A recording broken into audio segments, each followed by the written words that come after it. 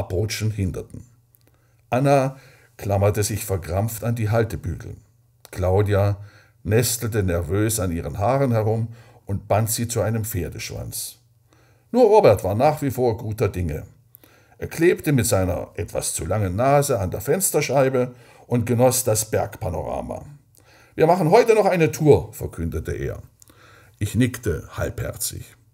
Oben sog ich die Bergluft gierig ein.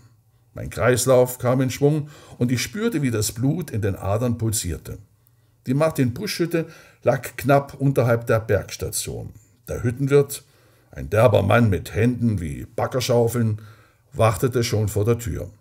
Unsere Zimmer im ersten Stock waren für die Höhenlage durchaus komfortabel.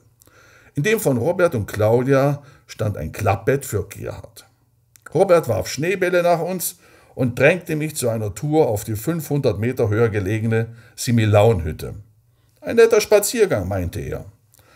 Von der Martin-Busch-Hütte aus gab es sieben mögliche Routen.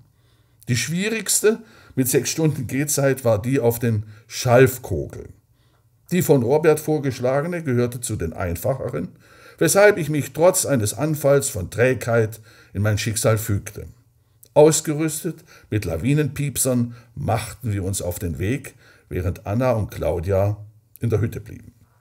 Die Schneedecke funkelte in der Sonne und vor uns ragten Kreuzspitze, Seikogel, hintere Schwärze und Hauslappkogel in den Himmel.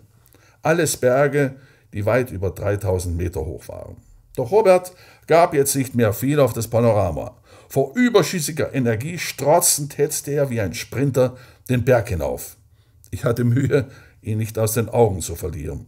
Kaum hatte ich ihn eingeholt, lief er schon wieder weiter. Nach genau einer Stunde und 15 Minuten